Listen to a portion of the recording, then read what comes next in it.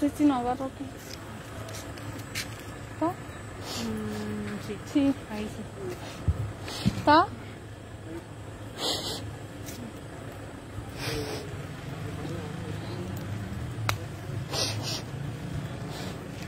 Hola gente de Clorinda.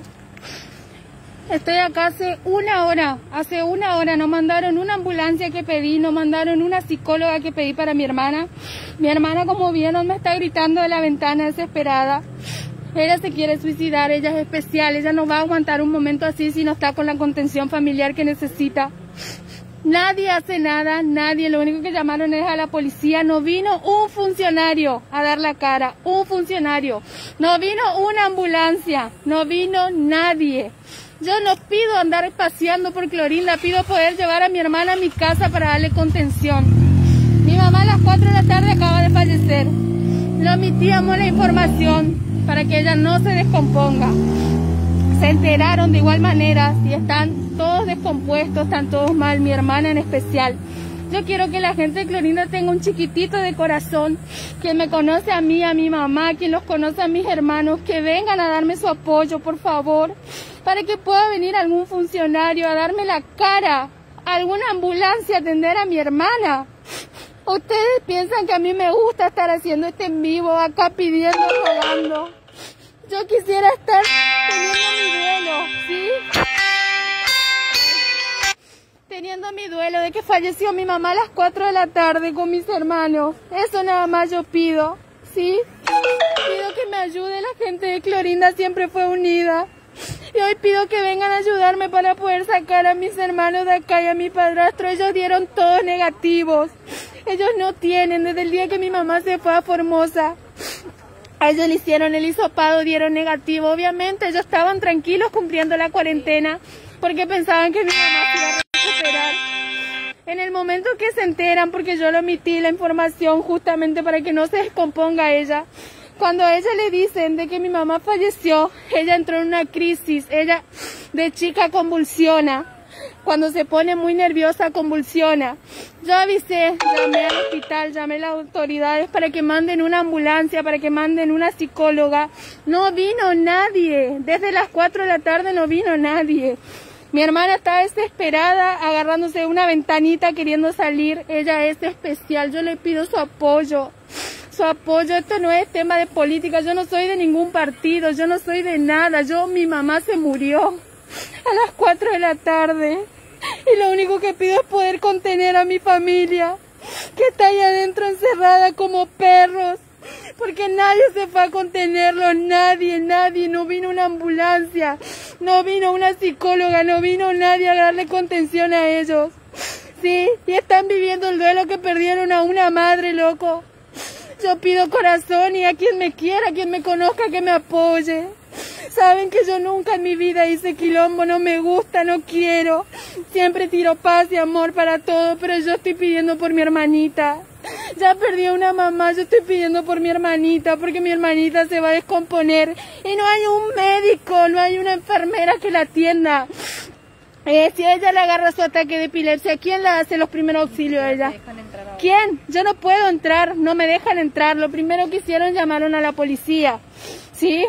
Llaman a la policía, pero no viene una autoridad. Una autoridad, ellos le tiran el fardo a esta gente. ¿eh? Y ellos no son capaces de venir a hacerse cargo. No queremos pasear por Clorinda, no queremos, queremos estar en la casa llorando a una mamá que se acaba de morir. Eso es lo que pedimos. Y le pido a toda la gente de Clorinda que tenga un poquito de compasión y se acerque a ayudarme. Porque es la única manera que te dan bolilla. ¿Eh? Es la única manera que alguien hace algo cuando, cuando se juntan, cuando pelean. Yo le digo que estemos amontonados, estemos separados. No sé, o que venga una autoridad, que venga alguien, alguien. ¿eh? Yo quiero darle el duelo a mi mamá que se merece en mi casa nada más. ¿eh? Nosotros no vamos a tener contacto con nadie. Yo me llevo a mis hermanitos y lo tengo en casa. Ellos dieron negativo. A mi mamá mañana la traen directamente y la entierran. Nosotros no nos podemos acercar a ella. ¿eh? No vamos a despedirla como corresponde. Y entendemos eso, entendemos todo. Yo simplemente quiero que entiendan que hay una nena de 20 años que es especial, Y me van a decir, ¿por qué está acá? Sí, porque ella aceptó venir, porque su mamá estaba bien.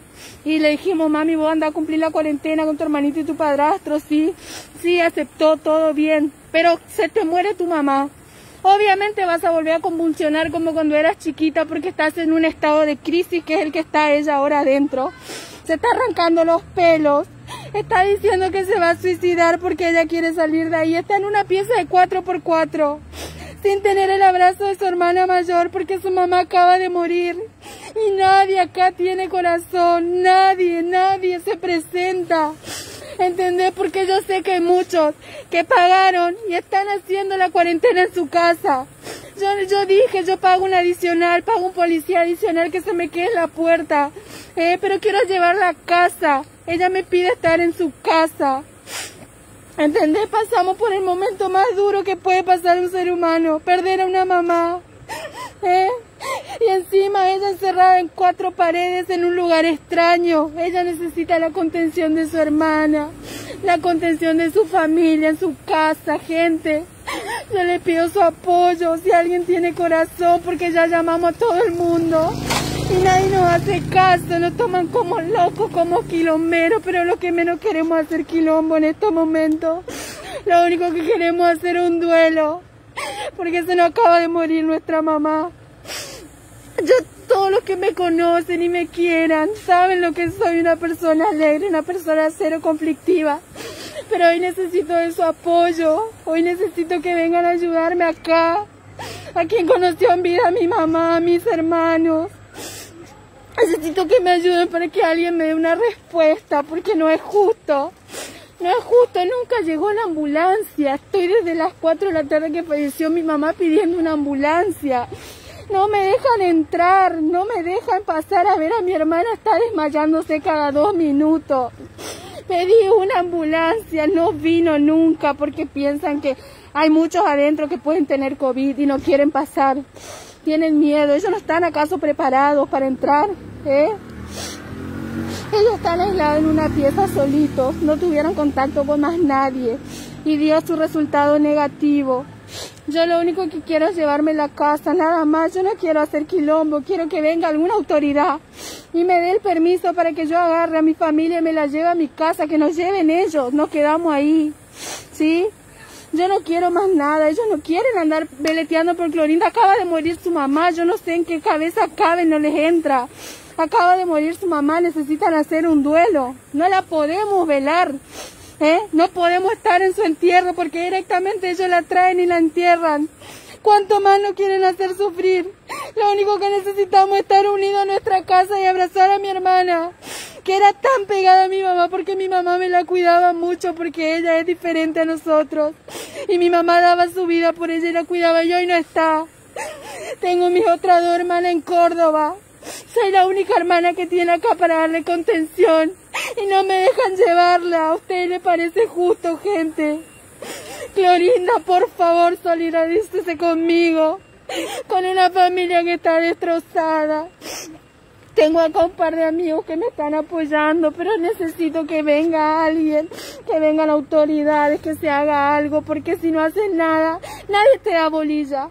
Y estoy haciendo en vivo todo y aún así no viene una ambulancia. Yo pido una ambulancia para mi hermana que está descompuesta adentro. ¿eh? No cometió ningún delito. Yo entiendo, si ella fuese positivo, que se quede. Yo entiendo eso, pero dio negativo. ¿Sí? Dio negativo. Si es una tortura lo que nos están haciendo. La quiero llevar a mi casa, nada más. Quiero tener la contención de ella en casa, ¿sí? Ella nos necesita, yo necesito que se acerque alguna autoridad. Llaman, llaman por teléfono los otros números, ¿sí? Haciéndose los cancheros. No es posible, no es posible, te dicen. Porque no les pasa a ellos. O porque si le pasa a ellos, ellos sí pueden ir a su casa, ellos sí pueden hacer lo que se le quiera, lo que quieran. Pero el pobre no, el pobre paga las consecuencias, aún teniendo derecho. Porque a mi hermana especial le llega a pasar algo, yo no voy a parar hasta que venga alguien y le haga lo que tenga que hacer en Formosa. ¿eh? Porque Formosa es una mierda. Porque abusan del pobre, ¿eh? de ese. A ese pelotudo lo tienen encerrado aún con, siendo negativo. Y ellos que tienen poder, aún siendo positivo, están en su casa. Abusan del pobre, eso es lo que pasa. Yo no doy más, necesito que me apoye Clorinda, por favor. Porque no me ven a dar respuesta, no me dicen nada, no mandan la ambulancia. Ellos se ponen en caprichoso y te hacen peor las cosas, ¿entendés? Vos estás haciendo quilombo, no te mandamos ni una ambulancia, es así, es así. Mira, ¿hace cuánto estoy pidiendo una ambulancia? No llegó, no llegó la ambulancia, nunca llegó. Mi hermana está descompuesta adentro. Yo necesito que me apoyen. ¿No? Yo no le enfoco a usted. ¿Será que Sí, yo no le enfoco a usted, yo enfoco para abajo. Quiero que escuche la gente. Sí. nosotros hablamos con el doctor González, Sí. jefe del distrital 12, Sí. que es el que está a cargo de todo acá en Clorinda, ¿sabes? Él va a enviar mañana a primera hora una psicóloga. No necesito para mañana, eh, no, ella no va a aguantar esta noche, sí, yo entiendo todo. Ajá, escúchame, te Sí. Él, él va a enviar una psicóloga mañana en la mañana a primera hora. Y si efectivamente tu hermana necesita ir, él no va a tener ningún problema, va a firmar lo que tenga que firmar y va a llevarle a tu domicilio. Pero mañana. pero ¿por qué no hoy? Si ella está descompuesta hoy, Mañana, por eso. ¿por qué no hoy? Fue- se fue el personal ahora a contratar como tal. eh, ¿Qué personal? hermana, El personal del, del, del CAP, Son enfermeros. del CAP. Hay enfermeros ahí adentro. Sí. Hay un enfermero ahí adentro. Hay una cosa. psicóloga. Hay un enfermero por cualquier cosa. Por eso te digo, hay una sola psicóloga acá en, en, en Florida por el momento. Por el momento. Sí. Y ella está atendiendo pacientes en el hospital hoy. Sí. ¿Entendés? Sí. Por eso, mañana a primera hora ella va a venir para acá. Sí, todo mañana a primera hora. ¿Y cómo pasa la Por noche eso, mi hermana? ¿Cómo pasa eso, la noche? Yo necesito, yo Nosotros- entiendo, yo entiendo tu trabajo, yo lo reentiendo. Yo necesito que vos llames y que vos digas lo que está pasando y que no nos vamos a acá Por porque yo quiero le llevarle a mi hermana. Sí, yo entiendo.